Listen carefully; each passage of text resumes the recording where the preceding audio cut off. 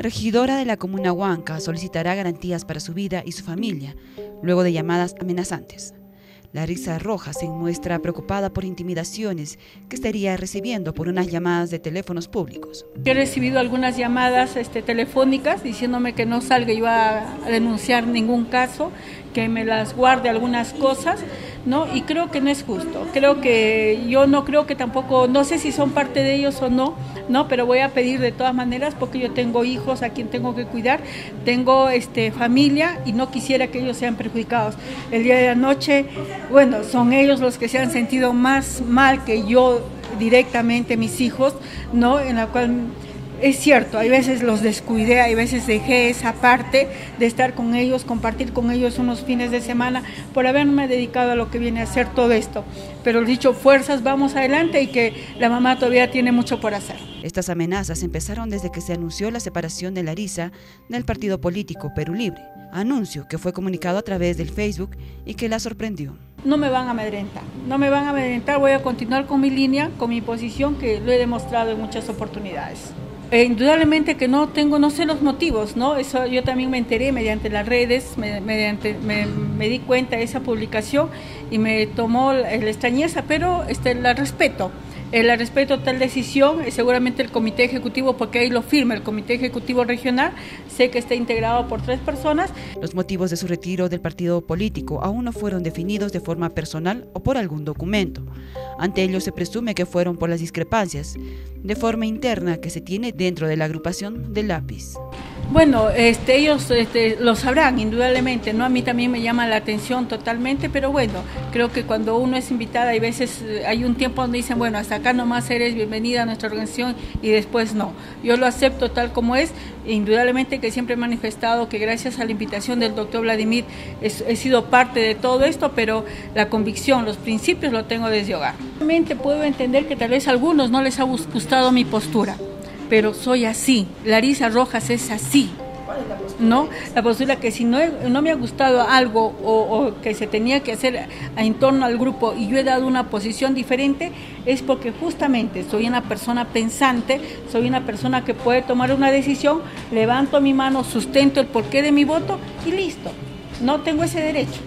¿No? Entonces, no, no me pueden decir, haz tal cosa si tú estés en contra. No, tengo principios, tengo convicciones y más que todo, tengo una familia a quien respetar. Ante este retiro, se corría la voz que la decisión habría sido por evitar que Rojas asuma una próxima candidatura al Congreso. Además, en un medio escrito, se mencionaba a la regidora Ana Belén como una de las enemigas de Larisa, que habría provocado su salida. Ante ello, Belén Chupurgo arremetió en su Facebook contra el diario y su colega, a quien criticó por una supuesta victimización. De hecho que hay temor, Imagínense, una Bartra o mejor dicho, una nueva Salgado en el Congreso. No cabe duda que la victimización es un arma para no asumir la gran mediocridad en su vida. Aunque de hecho sí hay temor, así como existe una Bartra, una Letona o mejor dicho, una Salgado, ay no, señores que ya estamos despertando y Perú Libre aprenderá de sus errores. Siento lástima, viniendo de una persona supuestamente adulta, y creo que en sus facultades pueda victimizarse con mi persona. Señora, progrese, haga algo productivo y déjeme trabajar. Deje de utilizar a la prensa sentimentalmente.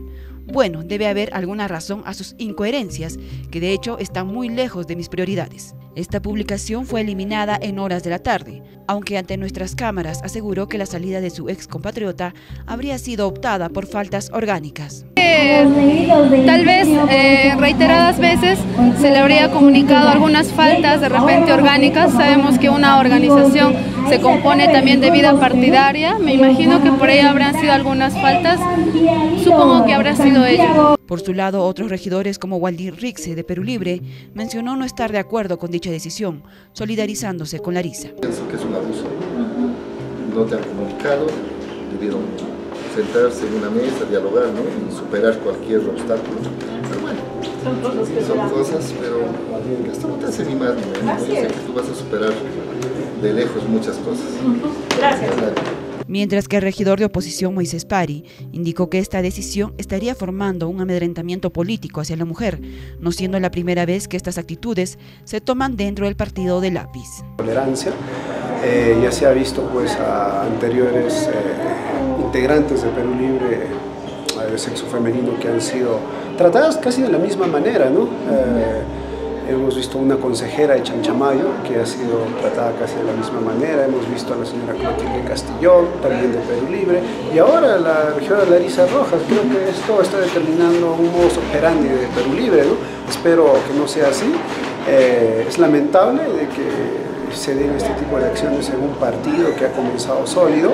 Eh, bueno, eh, ellos tendrán que deliberar a las internas qué es lo que ha pasado pero me parece desatinado esa actitud por parte de Perú Libre. Asimismo, invitó a Larisa a pertenecer al grupo reducido de la oposición para la fiscalización de la actual gestión.